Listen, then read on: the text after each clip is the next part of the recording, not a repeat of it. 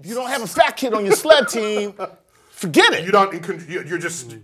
So it gives you more traction. Right. You need. That's just, that's just what you were saying. I did You didn't not get know. that email about political correctness. did you?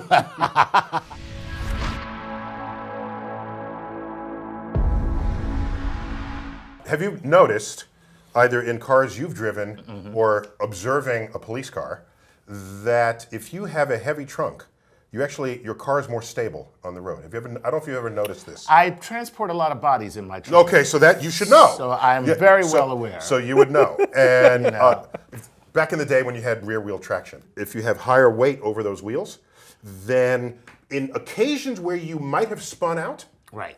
you don't. You don't. And anytime your car is spinning, then you don't have full traction with the ground, and you're not in complete control of your car. It's like sledding. I, I don't. s- I'm, I don't sled. well, so- drifting. You don't as a- sled. Here's the deal. In sledding, you need a fat kid on your sled team. Oh. if you don't have a fat kid on your sled team, forget it. you don't. In, con- you- you're just. So it gives you more traction. Right. You need. That's just, that's just what you were saying. I You did didn't not get know. that email about political correctness. did you? I didn't know this about. Okay. Okay. So go ahead. Yeah. So so the point is, if you're spinning, increase the weight, and then the contact with the ground becomes the integrity gets re- re- restored, mm-hmm. and your traction is re- Trouble it is, with returns to- putting, with putting a whole load of bricks in the back of your NASCAR, What? you're going to lose everything because it's weight. Exactly. So your weight is whatever a scale will show. Okay. Right. So Let's not yes, talk about you, that. you- so you, I've been eating donuts lately. I'm just saying, Mexican, a lot of Mexican. Let's not talk so about you what can the scales. you say. can you could put bricks in the trunk of every NASCAR to increase that traction. Right. Yeah. You could do that, but then the engine now has the motor has to accelerate more weight. So it's, And Newton's second law of motion, the force equals the mass times acceleration. If the mass goes up, then you're getting a lower acceleration Right. for, from the force. You're not going to go as fast, okay? Yeah. Or, or you're not going to be as nimble.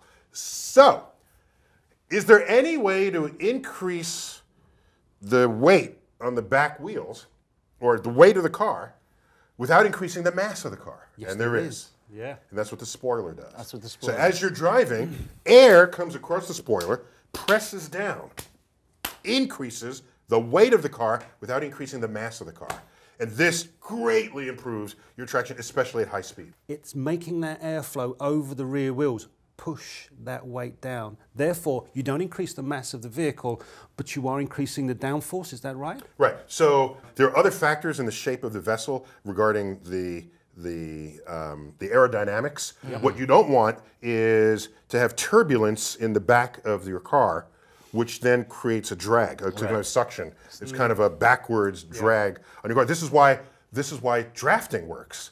Okay. Yes. So you have a car that would have turbulence in the back. You come up behind it. Mm-hmm.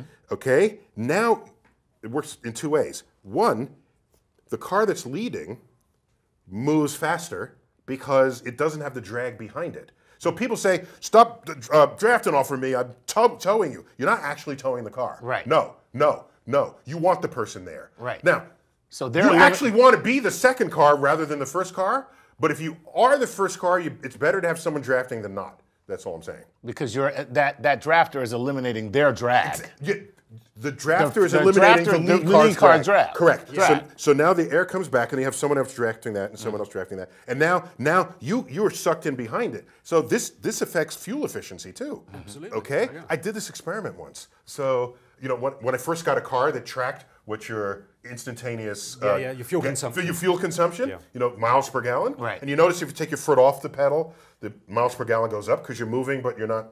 You're not engaging- sucking Not gas. sucking gas. Okay, so I just you know doing my own physics experiments on the road. Uh, this is my, my, my first outing in a car that did this. Right? Okay. You know, you might have a problem. No, no. So watch. So watch. So I do this and I say, so I wonder what'll happen if I get behind this truck. So I'm driving and I'm getting like 25 miles a gallon, and then I slide in behind the truck, and my foot is still on the accelerator. Okay, and whoa, it was like 80 miles a gallon. I was behind the truck. Because you're drafting the truck. I'm drafting the truck, and it was like, whoa. and Neil drove all the way to Florida, and he was only going to the store for some bread.